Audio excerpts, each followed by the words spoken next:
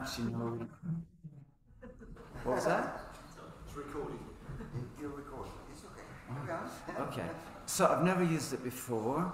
Um, I didn't actually pick it up until I'd taken my medication this morning, just in case I swallowed the wrong tablet, but it's uh, supposed to be a joke anyway. Um, sorry. But I'm just so unsophisticated that you don't expect anything else, do you? Um, okay. I've got my tablet, but I've got some notes here, so I'm going to read the notes instead. Um, oh, that's nice. It's musical. So, I'm staying with Bruce and Janet, and this morning I, I, I said I, th- I, I thought the meeting started at 10 anyway, but I said I was going to walk to the meeting and I was going to leave the house at 9 o'clock so that I'd get here nice and early. Um, and when I left the house, I started to say to the Lord, Lord, who do you want me to talk to? Okay? So I'm walking down the road and there's a, a guy picking leaves by the side of the road. Oh, on the side of the path, not the road, a bit away from the traffic.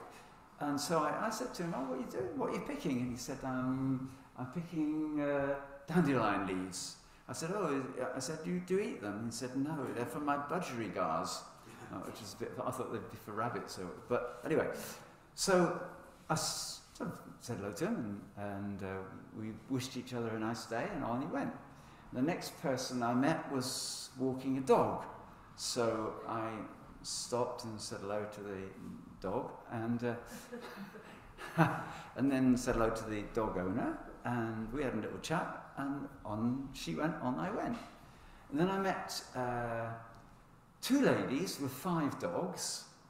And so I said hello, and the lady said hello. I said, I wasn't talking to you. and, uh, so then I did talk to her. I said, woof, woof. she thought I was a bit strange, but anyway. So, so then I, but do you know, I was walking along and and I saw the sign saying King's Church. And something inside of me said, just go in. So I walked into the car park, and there was this young man coming out of the building to go to his car. So he saw me and he came up and he said, oh, Hi, is this your first time? It's a bit like going to the dentist, isn't it? Is this your first time here? Anyway, sorry about that. Um, and I said, Well, actually, I've not come to the meeting. I, I said, I saw the sign and I thought, Well, you know, I'm a, I'm a believer and they're believers, they're my family. I just might come and say hello. So we started to talk. This young man wants to be a missionary in a French speaking country and has begun to learn French and wants to go and spend time in France. And so I'm there with him talking about the work of the Lord in France. Because God made an appointment for us. And he's going to come and see me in France. And I think there's more to it than that, actually. I believe there's more to it than that. I think when God makes appointments, he makes them good. And I just thought, Lord, I was blown away. I, I, I was just blown. God is so good. Yesterday I went to a conference, um, and in the tea break I was stood leaning against the wall. Um, I, I, could have stood up without, but um, and anyway, this lady was stood next to me. We started to talk, and out of all the what 150, 200 pe- people there, she's an ex-missionary to France and we just had just the most wonderful connection. I just think God makes appointments. He's so good at this. Um, but you know, God is just good at life. Ever so good at life. Um, and if we if we can just allow Him to flow through us, we will be good at it too. And if we don't allow Him to flow through us, then, it's, then life's hard. It is, actually. Without Jesus, people find life very hard. But if you just let Him flow through you, life is easy. It's just uh, the, the, we're talking about uh, falling off a log the other day, weren't we? Um, life is just as easy as falling off a log when you're walking with Jesus. It just, you know, your mistakes, He just turns them to good. All things work together for good to those that love God, who are called according to His purpose. It just happens. And it happens, I, I, I confess to you, I am just blown away with the faithfulness of God in, in little things and in big things. Um, I want to read a scripture if I can get this thing to work a minute. Um, has anyone got a real Bible? I, I, have lost confidence. Can I borrow a Bible? Um, real Bible will, will do. Thank you so much. Thank you. Is it an English one? Well, it's irrelevant. I want to read in John chapter 6.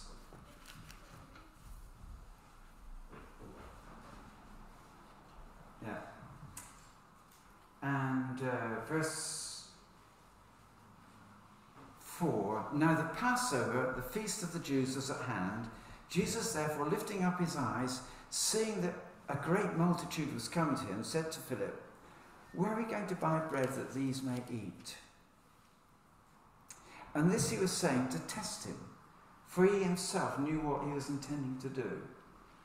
Philip answered him, 200 denarii worth of bread. Now, the 200 denarii worth of bread is the equivalent in those days to uh, 200 days' wages for the average workman or soldier. Okay, just put it in context. Uh, is 200 denarii worth of bread is not sufficient for them for everyone to receive a little one of his disciples, Andrew, Simon Peter's brother, answered, said to him, There's a lad here who has five barley loaves and two fishes.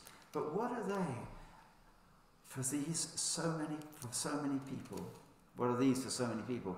I want to read it again in Mark chapter 6. Can we do that? I'm sorry you can't read your Bible because I've got it, but I'll read it to you, okay? Um, and verse uh, 30, 35. Okay, just it's a bit different here. Um, his disciples came up to him, began saying, The place is desolate and it's already quite late. Send them away so that they can go into the surrounding countryside and villages and buy themselves something to eat. But he answered and said to them, You give them something to eat. And then they said to him, Well, effectively the same 200 denarii worth of bread. She wants to buy that so everyone can have a little bit. The thing I want to say to you is this. Um, I'm supposed to stand in front of that, I? I suppose it doesn't really matter. Okay. The thing I want to say is this. God said to Jesus, that is God, said to the disciples, You give them to eat.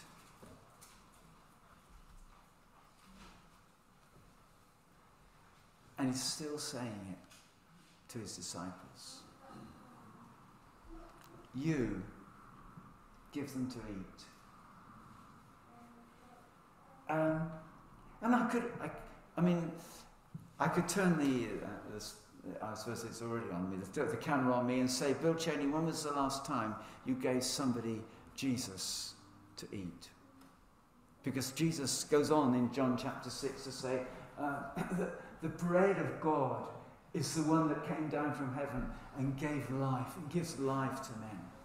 And Jesus said, You've got to eat my flesh and drink my blood, and then you'll have life in you. And so, if Jesus is saying to me today and to you today, uh, feed my sheep or give them something to eat, it's Jesus. When was the last time you gave somebody Jesus to eat? it's a funny way of putting it, isn't it? but when was it? Because do you know something? Everybody that you meet is hungry. Everyone that you meet, they're hungry. and they are wanting somebody to say to them, I've got something for you. Of course, they don't all know it. And they're not all ready for it. Some of them are just happy to pick dandelions or, or walk their dogs. But if you are willing to be somebody who feeds people with the life of Jesus, and you say to him, because I do this when, I, when I'm going out, Lord, give me somebody today. Give me somebody on this walk. And uh, I mean, today it, it, I was a bit disappointed because it, he was already a Christian, but, but, but you know, God can do. If He can make cars start, and He can save people that are dying of cancer, He can lead you to somebody who's hungry for Jesus. Whoever you are. Whoever you are. Actually, these five loaves and two small fishes were a little boy's lunch, apparently, or something like that. So it wasn't sort of rocket science, it was just a pack of lunch. If you have received Jesus in your heart and in your life, you have enough to share him with others already. You don't need to grow anymore. You don't need, of course, you need to grow in the Lord. You don't need to read your Bible anymore. Of course, you need to read your Bible. You don't need to pray anymore. Of course, you need to pray. But to share Jesus, you've got enough. You've got enough. But are you willing to do it? That's the question. Am I willing to take the risk? Uh, being a Christian is the safest thing in the world but it's the life with the greatest risks as well. I, I, I take risks all the time, but I'm the safest person on the planet if I'm in the will of God. You take risks all the time, but you are the safest person on the planet if you're in the will of God. Even if you fall over and nearly break your back.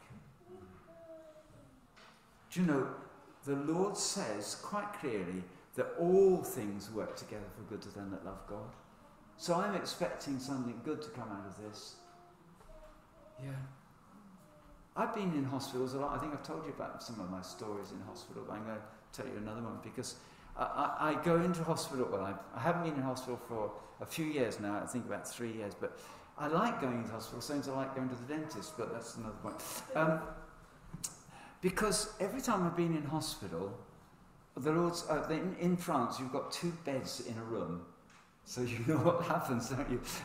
the other person, poor, poor guy, I mean, it's always a guy anyway, but um, they, they, they haven't got a chance really.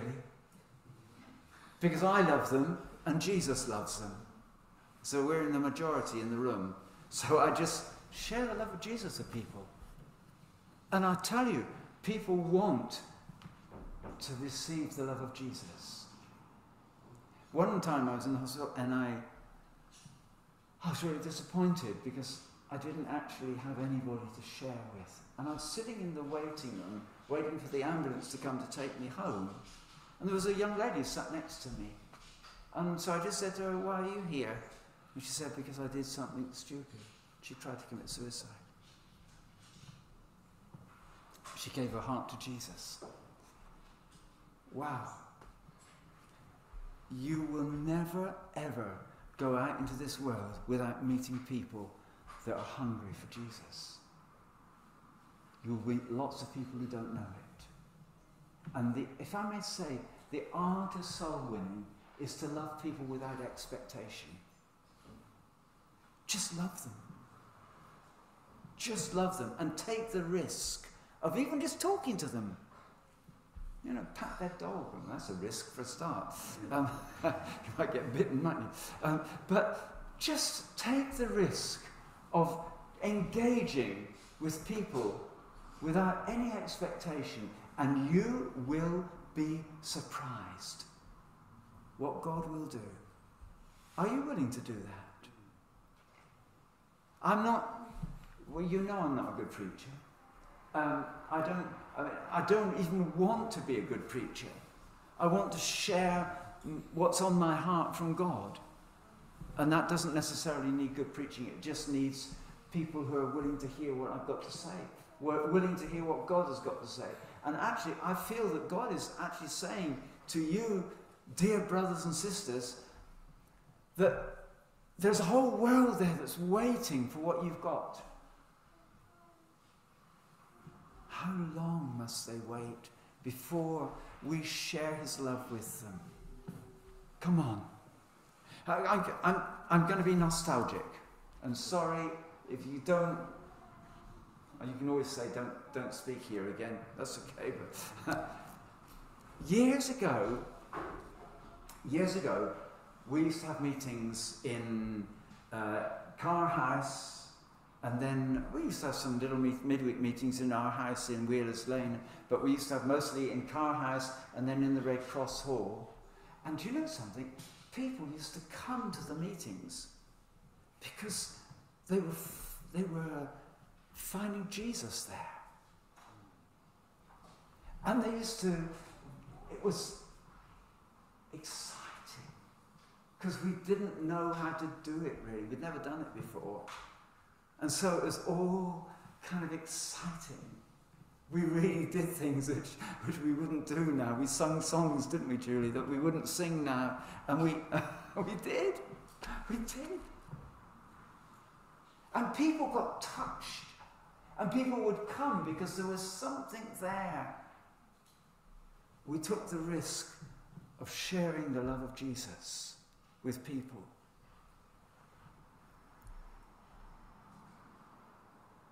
A church that doesn't take risks is a church that's on dec- in decline. Brothers and sisters, I'm being honest with you. A church that doesn't take risks. Uh, well, do you mean to say that Jesus takes risks? Yes, he took the risk of the cross. Yes? He took the risk of going to the cross. That's what saved us. Wow. I want to live for Jesus. I want to share his love. Uh, when, I, when I walk down the street and I see people, I, something inside of me just aches to share his love. And you know, sometimes we can forget that Jesus died to save the whole world. And we can get focused upon our lives. There's a lovely song that this uh, Chinese or whatever it was lady um, shared in this meeting that I was in yesterday. Oh, it was you that I was in it with, sorry. I was looking at Bruce, he doesn't know what I'm looking at him for. Um, there's a river of life flowing out through me, makes the lame to walk and the blind to see. It opens prison doors, sets the captives free. There's a river of life flowing out through me. Spring up, O well, within my soul. Spring up, O well, and make me whole. Spring up, O well, and give to me that life abundantly. Now, I love that song. You probably know it quite well, do you? Yeah? Okay, we might sing it in a minute. And, um, but is there a river of life flowing out through me, through you? Or are we singing a theoretical thing? I, you know, I, I know I could sound like a real condemning guy, or, you know, one of these preachers that makes you feel awful. I have no intention of doing that, brothers and sisters. What's that? Oh, my goodness. I have no intention of making you feel bad, making you feel guilty. Well, I, my intention is to, to get you excited about a possibility that someday soon you are going to see somebody saved because you took a risk. Someday soon you're going to share the love of Jesus with somebody because you took a risk. I want you to get. Well, I, I will tell you something. There's a church in Revelation. You can know where I'm going now, Revelation. Um, we just just read it for a minute, okay? um, chapter chapter 2, verse 4. You know, it's the church of the Ephesians. I love the book of Ephesians, don't you? I think it's wonderful. So much spiritual blessing in it. And yet, Jesus has to say to this church, I've, verse 4 I have this against you, that you have left your first love. Remember from where you've fallen and repent and do the deeds that you did at first. The first works. Do you know what the first works are? I can remember just falling in love with Jesus.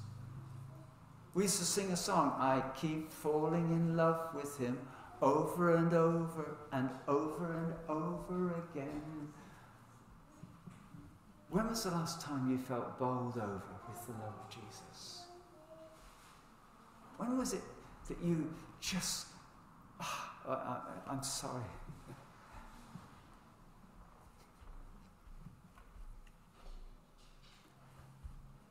Just, we all must get back into the place where we're in first love. Because if we don't, you know, the world is robbed. And if the world is robbed, then in the end, Jesus is robbed because it's, it's Him that came into the world to save sinners. So we must get back into first love. Can you hear what, what's banging in my heart here? Jesus, uh, uh, well, uh, uh, I'll say Jesus loves you. He loves you. Do you believe it? Hands up those that do, please. Just let me see that you're not asleep. Right, okay. Would you do me a favour? Turn to the person next to you or in front of you or behind you and just say to them, Jesus loves you. Jesus loves you. Jesus loves you. I love you. Amen. See, so you said that you believe that Jesus loves you, and somebody else has just told you that Jesus. That makes two people that believe that Jesus loves you. That's, that's pretty good, isn't it? Jesus believes that he loves you. That's three. Okay? Amen? Amen. Do you love him as much? Do you remember Peter?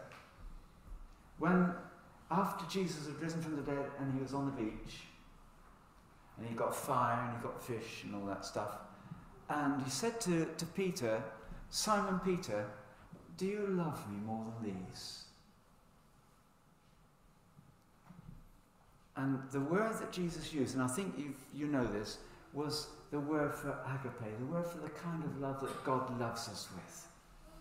And Peter said to him, Lord, you know I love you. But Peter couldn't use the same word that Jesus used. He had to use a word which really meant, I love you like a friend, like a brother, but not like God loves me. Phileo. So Jesus said it again, Simon Peter, do you love me?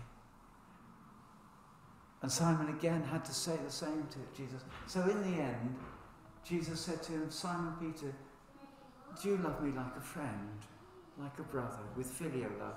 And Simon Peter said, Lord, you know everything. You know that's how I love you the Holy Spirit had not come into Peter's life. When the Holy Spirit comes into your life, what he does, he sheds the love of God abroad in your heart by his Holy Spirit, which he gives you. And you love him. And that's supposed to be the permanent condition of every saint. And if you are saved by Jesus Christ, you are called saints. I call you saints because God calls you saints. Okay? So that's supposed to be your permanent position. The love of God shed upon your heart, so you love Him. And His love is in you. And it's, that's what makes you tick. That's what motivates you. And if that's what motivates you, you can't possibly tell me that you go out into the world and you don't see that there are people hungry and thirsty for some truth, desperate to be loved, desperate to hear that they can be forgiven. You know, people all the time, I meet people who, who need to know that the things that were said over their lives, God can deal with it. They've had negatives said. Do you know, I, uh, let me just talk about this younger generation. You'll be very, very lucky, uh, outside of church as this is, if you meet a young person who's not watched really violent horror and pornography. You'll be lucky if you meet somebody, a young person who hasn't watched that. They need the love of Jesus. They need to know that that, that can be washed out of them. I talked to a, a young woman just recently, and she's a lovely young woman, but the images that she'd seen couldn't get out of her mind. It's not just the guys, it's, it's, it's guys and girls, they're seeing this stuff. They can't help it. They're not to be blamed for it now. It's the, it's the state of the world. And God can set people free and cleanse them from that. But however are they going to know it unless we tell them? I uh, just, I'm aching inside. Wow.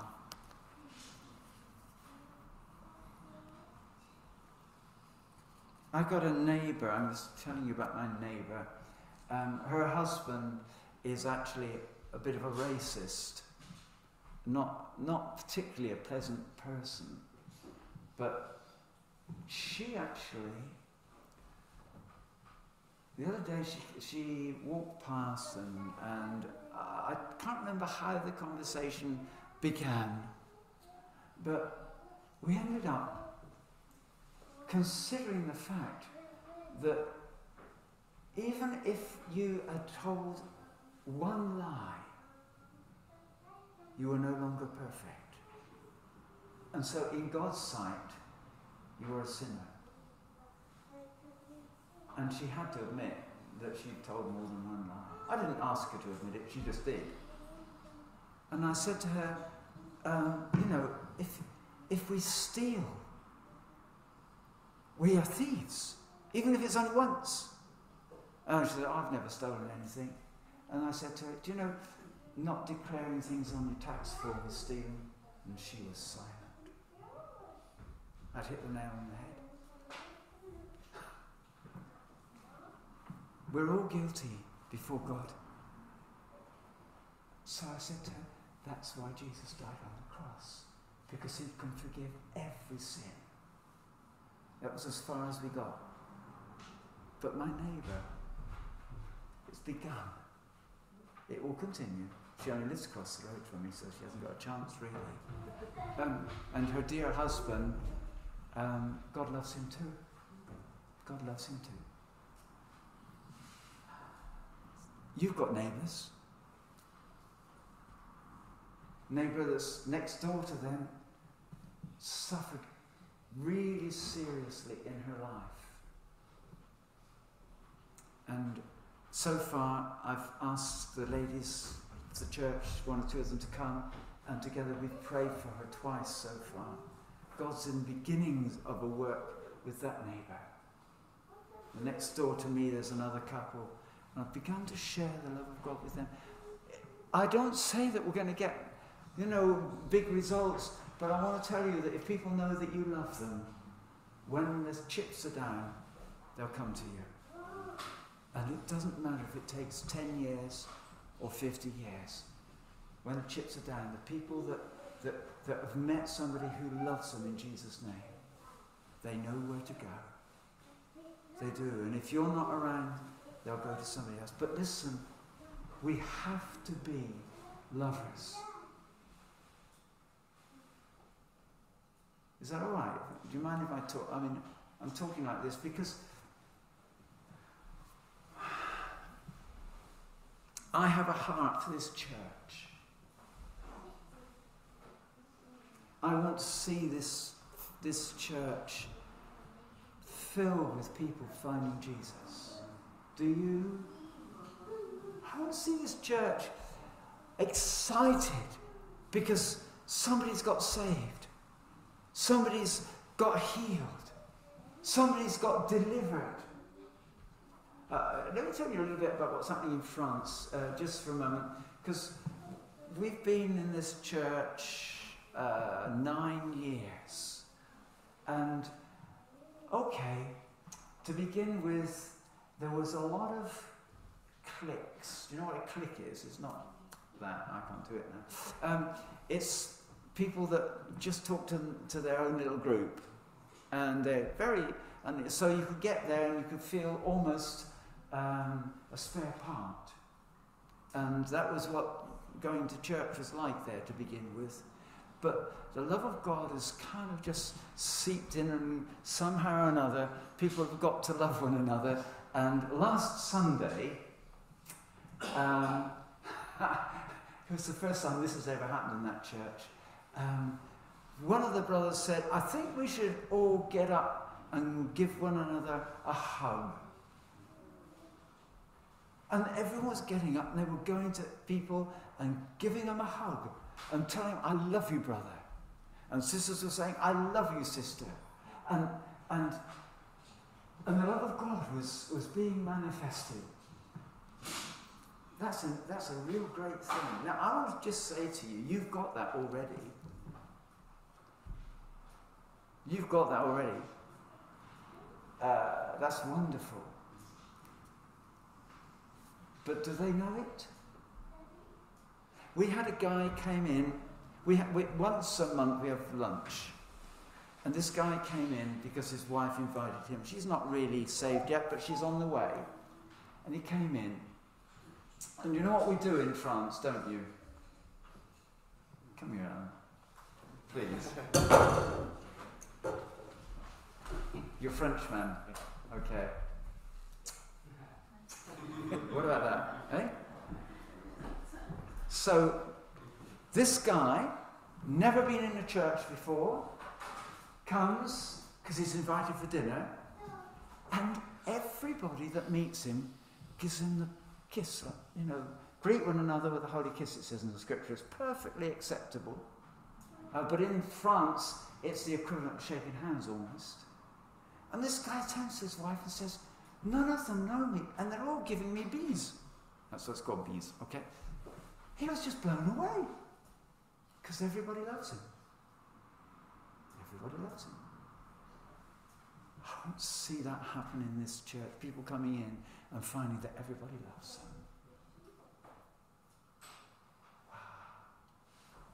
Is God able to, to turn not the clock back, but turn it around so that what was so wonderful at the beginning of the fellowship, when we were all so excited about Jesus and didn't know anything other than to, to just love one another and hug one another and, and share the love of Jesus and go out and share it with the kids in the street or the kids in the school or the neighbours. I think I told you last time about my neighbour in Wheelers Lane who, who came to church because she said that guy smiled at me every day. You can do it. You can do it. God's love is big. I want to see this church vibrant with that kind of, wow, what will Jesus do next? Can you believe God for it again?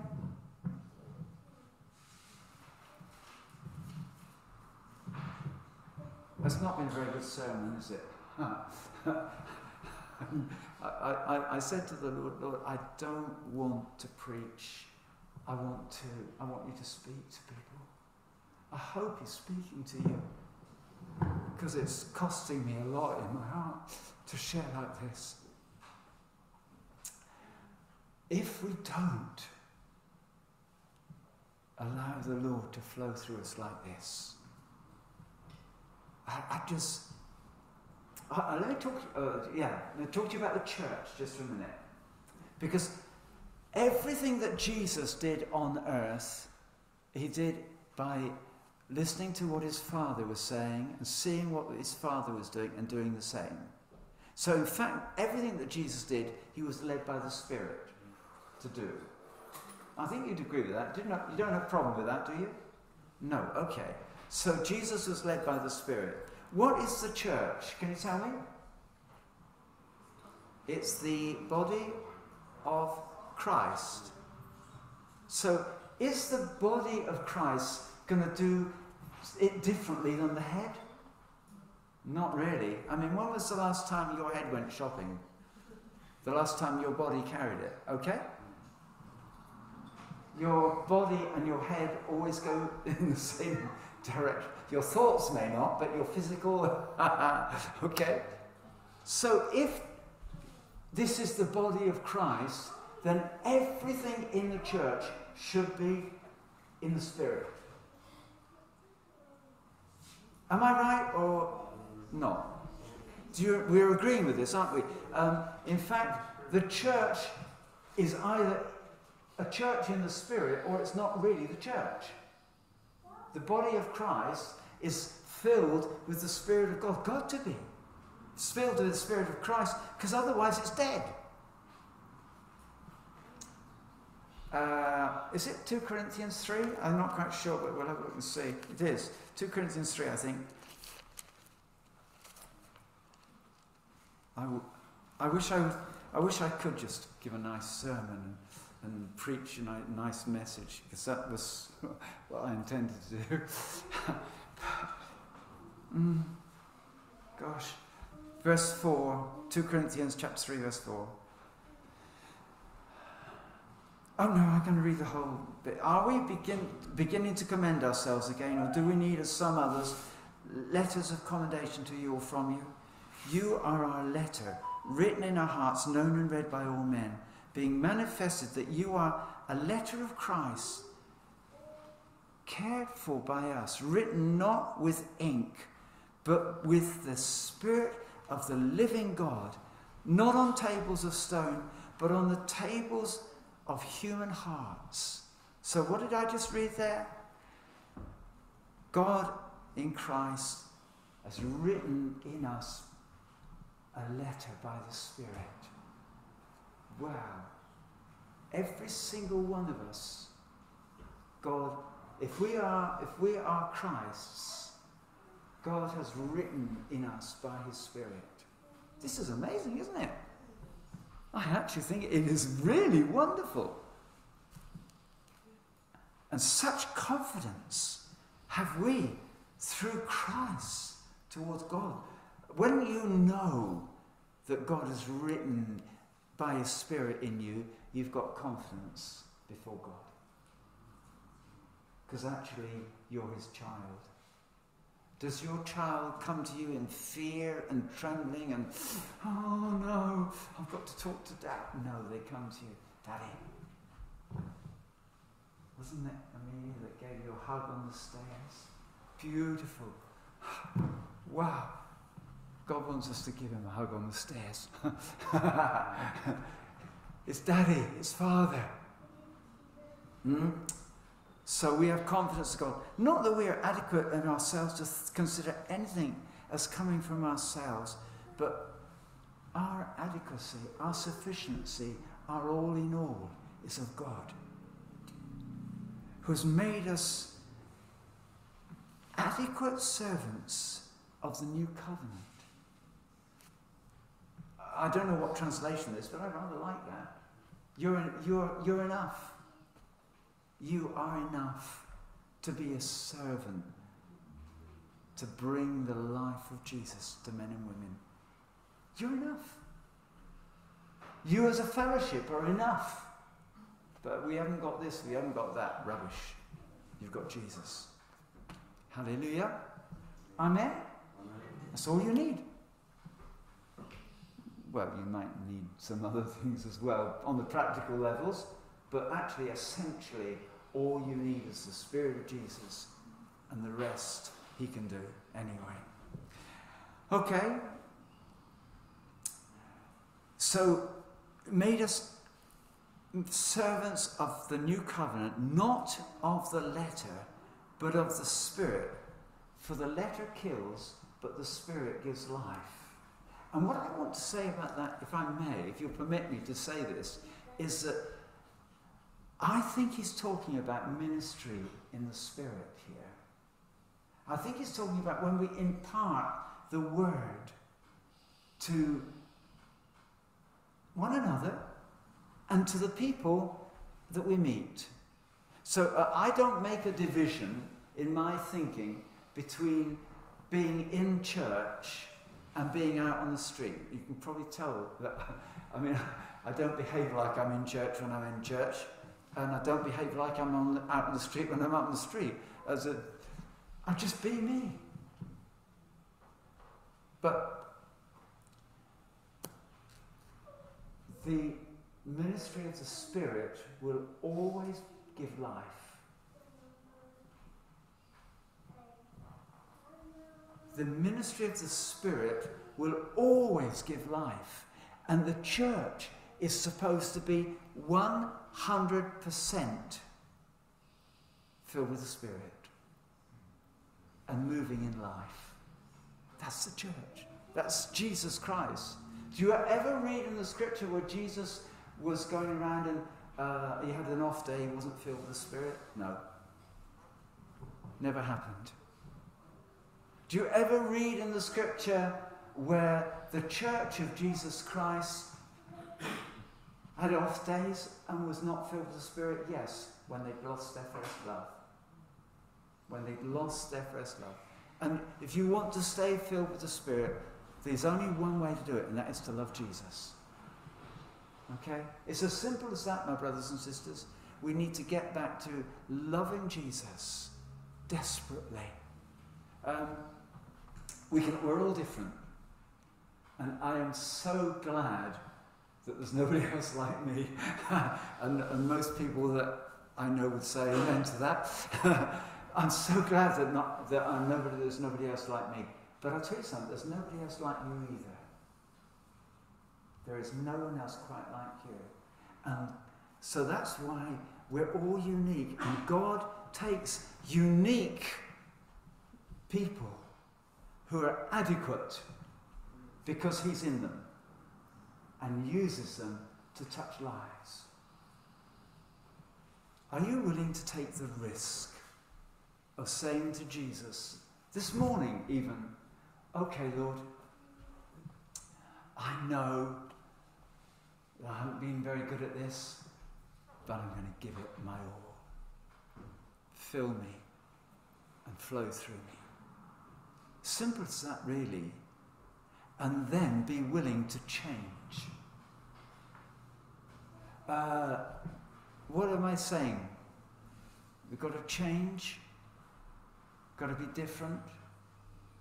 Well, I want to tell you that somebody who is filled with the Spirit of Jesus and flowing with his love, they are like that song. There's a river of life flowing out through that person. And they may not see the lame healed every day. They will see sometimes healing because Jesus says so. They may not see the blind made to see every day but they might see some sometimes. They may not see prison doors opened and captives set free every day, but I, I am seeing more of that, I must confess. As, as I share the love of Jesus with people, I'm seeing people set free, and that is just so wonderful. But if, when we sing that song, we get to the second verse, uh, second part, and it says, Spring up, O well, within my soul. Spring up, O well, and make me whole. And we only stop there, brothers and sisters. We have totally missed the point. Spring up, O well, and make me whole. No, spring up, O well, and make them whole. That's where I want to be. I'm already made whole. Jesus has saved me. Jesus has washed me in his blood. Jesus has made me right with himself, made me able to stand in the presence of Almighty God without any condemnation. But then, they don't know it. Spring up, O well, and make them whole. Spring up, O well, and give to them that life abundantly. That's, that's what I would rather sing because it's already happened in me. Has it happened in you?